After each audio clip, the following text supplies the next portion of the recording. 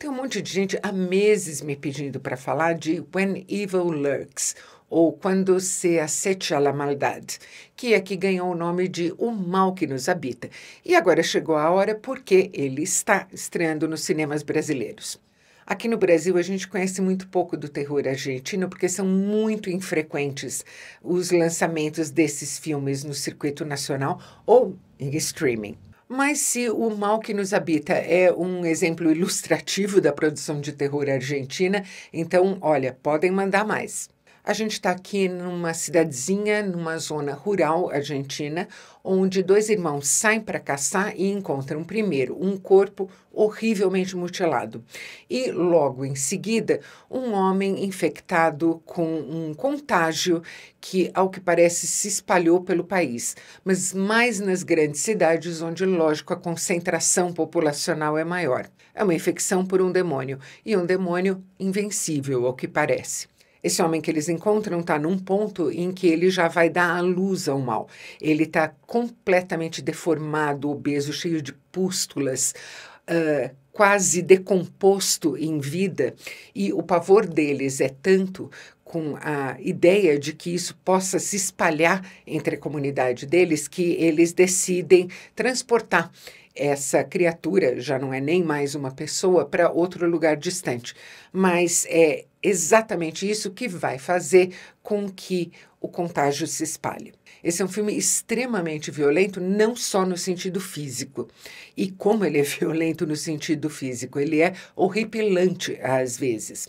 Mas ele é violento também emocionalmente, para os personagens e para quem está assistindo.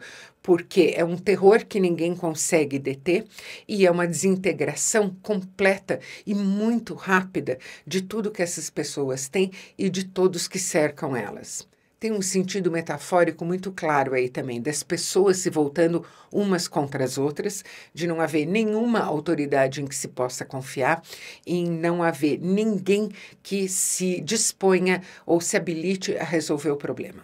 Mas antes da gente chegar nessa dimensão do filme, a gente vai levar tanta paulada na cabeça, tanto soco na cara, vai ficar com o coração na boca tantas vezes. Quem dirige o Mal que Nos Habita é o Demian Rugna. Eu não conhecia nenhum trabalho dele, embora ele tenha vários outros filmes de terror já lançados na carreira dele. Ao que parece, nenhum deles tão bom quanto esse aqui. Mas eu fiquei muito curiosa para ver os outros trabalhos dele, porque eu costumo dizer que terror é ponto de vista, é enquadramento e é saber dosar aquilo que você vai mostrar, aquilo que você vai sugerir, quando você vai mostrar, quando você vai sugerir. E o Demian Rugna, em O Mal que Nos Habita, controla todas essas variáveis de maneira brilhante às vezes. Os enquadramentos do filme são bárbaros, são maravilhosos. A velocidade com que as coisas acontecem significa que a gente nunca tem tempo para se recuperar de uma coisa antes que a próxima aconteça. E o Damian Rugna tem também essa habilidade de, ao mesmo tempo em que ele mantém o espectador em um estado de tensão constante, ele pega ele completamente desprevenido várias vezes durante o filme. Se tem um reparo que eu vou fazer o trabalho dele em Mal que nos habita, é a direção de atores. Ele não é muito bom em modular as atuações, não.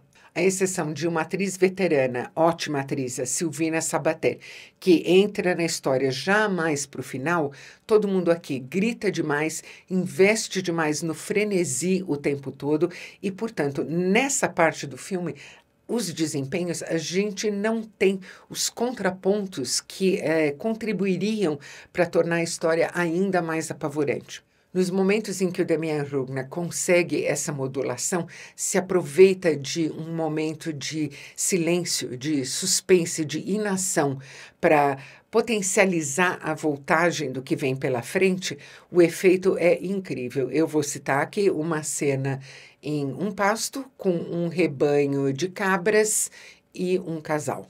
É uma sequência impecável em todos os sentidos.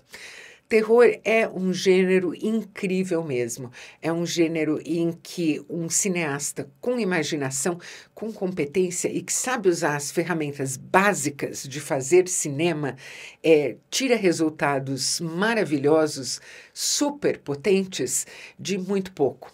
Muito pouca produção, muito pouco dinheiro e um saldo extraordinário. Outro reparo é que às vezes ele cria situações que não vão dar em nada, que são becos sem saída e que eu mesma acho que em certas ocasiões ele podia ter ido ainda mais longe do que ele vai.